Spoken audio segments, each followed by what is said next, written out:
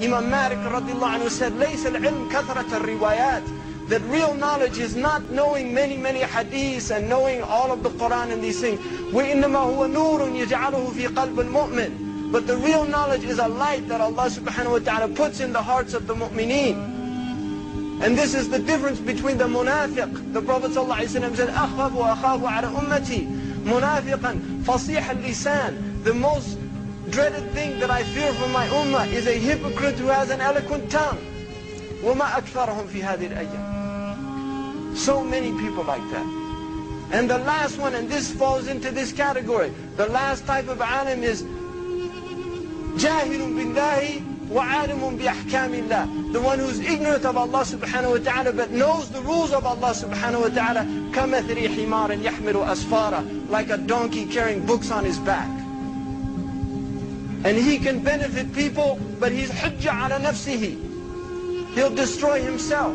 Like the Prophet ﷺ said on the Yom Qiyamah that people will come and they'll see somebody going into the hellfire. See some going into the hellfire. And they will say, how are you going into the hellfire? It was by you that we got najat. That we were saved by you teaching us.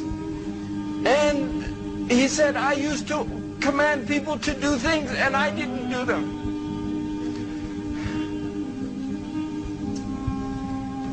And this person, Allah subhanahu wa ta'ala thrusts him into the hellfire. Because he's jahilun billah. He's ignorant of Allah subhanahu wa ta'ala. This ummah's task is to know Allah. أول واجب على من كلف ممكن من نذر أن يعرف الله والرسل بالصفات مما عليه نصب الآيات. The first injunction of this ummah for every mukallaf is to know Allah subhanahu wa ta'ala and to know His messenger in how they have been given to us by the book of Allah and the pure sunnah of the messenger of Allah.